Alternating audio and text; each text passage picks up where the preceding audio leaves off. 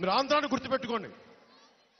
పంతొమ్మిది వందల నలభై ఆరు నుంచి నల యాభై వరకు ఒకటైతే ఉమ్మడి రాష్ట్రం కాస్త పొట్టి శ్రీరాములు గారి ఆయన బలిదానం మీద జరిగింది.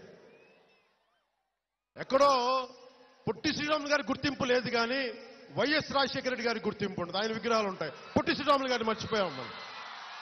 ఎవరి బలిదానం మీదో ఎవరి యాభై ఆరు రోజులు పస్తులుండి కడుపు మార్చుకొని ఎవరైతే ఈ నేలని ఈ ఆంధ్రని మనకిచ్చారో వాళ్ళని మర్చిపోయాం.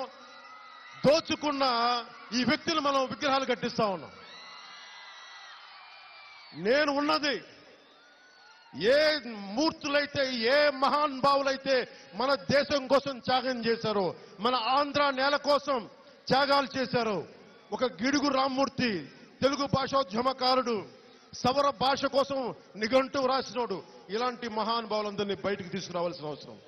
మీరు గుర్తించాల్సింది మన కోసం త్యాగం చేసిన మహానుభావుల్ని